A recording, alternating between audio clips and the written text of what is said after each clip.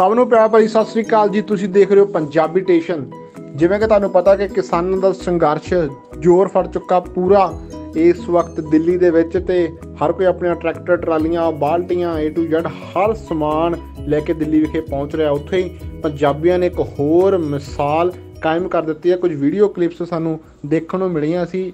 ਤੁਹਾਨੂੰ ਵੀ ਜ਼ਰੂਰ ਦਿਖਾਵਾਂਗੇ। ਪ੍ਰੀਤ ਸਿੰਘ ਤੇ ਪੰਜਾਬ ਸਿੰਘ ਸਿੱਧੂ ਹੁਣਾਂ ਨੇ ਤੇ ਉਹਨਾਂ ਦੀ ਸਾਰੀ ਟੀਮ ਨੇ ਮਿਸਾਲ ਪੈਦਾ ਕਰ ਦਿੱਤੀ ਉੱਥੇ ਝਾੜੂ ਲੈ ਕੇ ਪਹੁੰਚ ਚੁੱਕੇ ਆ ਤੇ ਵੀਡੀਓ ਵਿੱਚ ਉਹ ਕਹਿੰਦੇ ਨਜ਼ਰ ਆ ਰਹੇ ਆ ਕਿ ਅਸੀਂ ਦਿੱਲੀ ਦੇ ਵਿੱਚ ਜੇ ਰਹਿਣਾ ਹੈ ਤਾਂ ਸਾਰੀ ਸਫ਼ਾਈ ਵੀ ਕਰਾਂਗੇ। ਕੱਲ ਨੂੰ ਦਿੱਲੀ ਵਾਲੇ ਸਾਨੂੰ ਇਹ ਨਾ ਕਹਿਣ ਕਿ ਪੰਜਾਬੀ ਇੱਥੇ ਆਈ ਸੀ ਤੇ ਖਲਾਰਾ ਪਾ ਕੇ ਚਲੇ ਗਏ। ਇਹ ਦੱਸਦੀ ਆ ਗੱਲ ਸਾਨੂੰ ਕਿ ਪੰਜਾਬ ਤੇ ਪੰਜਾਬੀਅਤ ਦੀ ਸੋਚ ਕੀ ਆ, ਅਸੀਂ ਕਿਸ ਵਿਰਸੇ ਦੇ ਮਾਲਕ ਆ, ਸਾਡਾ ਵਜੂਦ ਕੀ ਆ, ਸਾਡੀ ਸਿੱਖਿਆ ਕੀ ਆ ਕਿ ਅਸੀਂ ਜਿੱਥੇ ਲੜਨ ਵੀ ਜਾਂਦੇ ਆ ਉੱਥੇ ਆਪਣੇ ਫਰਜ਼ ਸਮਝਦੇ ਆ। ਜਿੱਥੇ ਅਸੀਂ ਟਰੈਕਟਰ ਟਰਾਲੀਆਂ ਲੈ ਕੇ ਗਏ ਆ ਉੱਥੇ ਅਸੀਂ ਨਾਲ ਝਾੜੂ ਵੀ ਲੈ ਕੇ ਗਏ ਆ।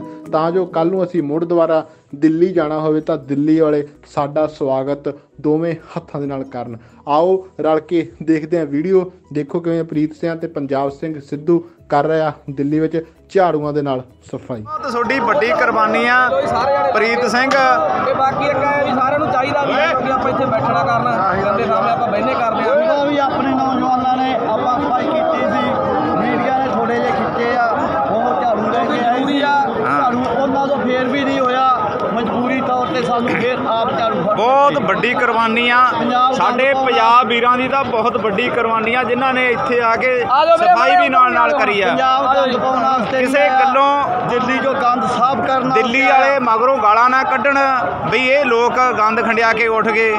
ਦੇਖੋ ਅੱਜ ਜੋ ਕਿਸਾਨਾਂ ਵੱਲੋਂ ਇੱਥੇ ਪੱਕਾ ਮੋਰਚਾ ਲਗਾਇਆ ਜਾਣਾ ਹਾਂਜੀ। ਦਿੱਲੀ ਨੂੰ ਘੇਰਨ ਦਾ ਜੋ ਜਥੇਬੰਦੀਆਂ ਦਾ ਪ੍ਰੋਗਰਾਮ ਬਣਾਇਆ ਗਿਆ ਕਿ ਇੱਥੇ ਦਿੱਲੀ ਦੇ ਜਿੰਨੇ ਵੀ ਰੋਡ ਆ ਉਹਨਾਂ ਨੂੰ ਬਲੌਕ ਕੀਤਾ ਜਾਊਗਾ।